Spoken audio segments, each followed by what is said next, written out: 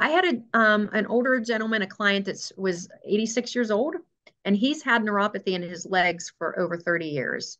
Mm. Um, and he even has a drop foot. His one foot's drop foot, and he he has like some kind of brace, and you know he doesn't use a walker but uses a cane. But when he came in, so I thought I was treating him for neuropathy when he came in.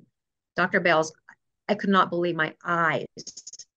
His legs and feet were all black. I mean, solid black from his knees down to the bottom of his feet. And I was like, um, I think maybe you, you need to go to the doctors. Have you you been to the doctor? You know, the medical doctor? And his wife piped in and she said, No, no. She said, because after he gets a shower, she said, they turn normal color. They just get like this whenever he sits for a long time. Well, that was a 20 minute drive to my office from their, house. So that was kind of scary. but I did just start normally would for the, you know, he's there, I'm going to start treating him. So I started treating him like we would for the neuropathy, you know, you know, the areas that you would for neuropathy. And when he came back the second time, his second treatment, I noticed that it was kind of variegated, but they were still black, but it was almost like multicolored. I don't know how to explain it, but it wasn't solid black anymore. It was like just um, blotchy. Okay. So the second time he came, it was more blotchy. So it wasn't wasn't solid black anymore. And after we did that treatment, the second treatment, and he came back, so it would have been his third time, it was almost all gone. His feet maybe just a little bit. And after we did the third treatment, by the time he came back for the fourth treatment, his legs were completely normal. Mm-hmm. Um, and I, I, I mean, if, I wish I would have taken a picture. I don't think anybody yeah. would have believed how solid black these were. I mean, circulation was horrible. So Firefly got his circulation going really well. My favorite is a 21 year old who came in, um, I think maybe our third week of having Firefly, born with cerebral palsy. Um, kind of some of his symptoms were he walked with a limp, he uh, uh, had a stutter, and then he also uh, his left arm he held it you know kind of like it was broken. So he really he showed rachel worked on him. He couldn't move his arm much above two inches away from his body and uh, he's a, a, big energy. He's an indigo child, and he really is clear on his mission, which is to work with veterans for PTSD. And so when he came in, he said, You know, I don't feel like I can do my mission uh, because my body, I'm trapped in this body. And so um, we worked on him on his gut and his head, uh, 10 minutes each, again, alternating. So 10 minutes, uh, one treatment. And then the next time he came in, working on his head. And after three treatments, stutter almost completely gone. Um, his walking improved, so he was dragging his leg. That that stopped. But the biggest one was when he showed Rachel. He said, "Look, Rachel, I can move my arm above my head, all the way above my head." And again, he was born with this. So these are new sensations now in his body, um, which oh is incredible. God. But the thing that brought me to, to tears oh. was he said he actually feels like he can fulfill his purpose now. So he doesn't feel like he's trapped in this constraint that he was born into and he's been coming out of it.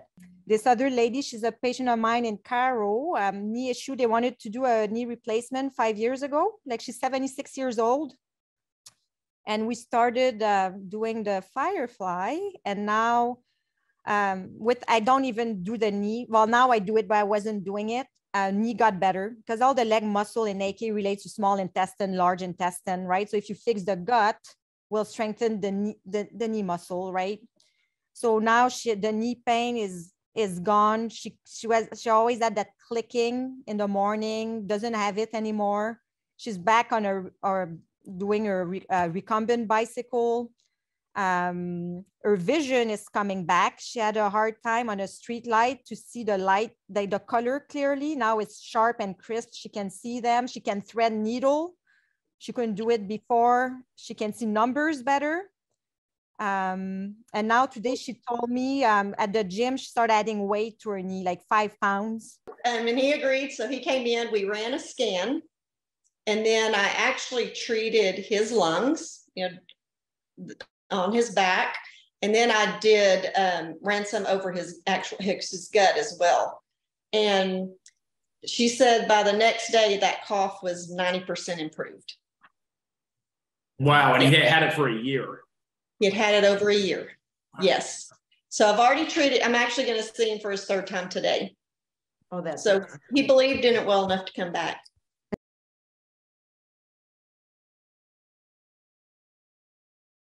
I just truly feel like I am emotionally liberated and I'm able to really reclaim my, you know, right to feel healthy.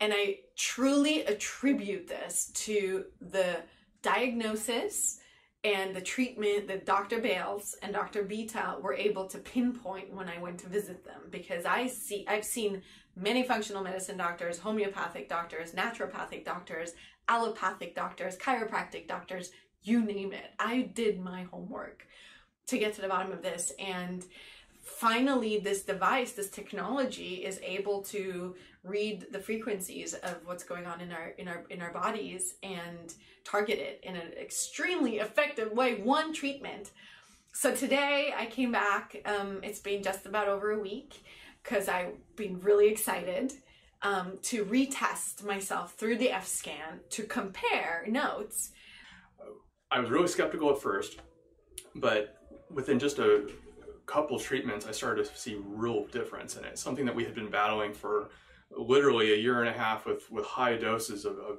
different types of uh, medications, whether they be pharmaceutical or herbals.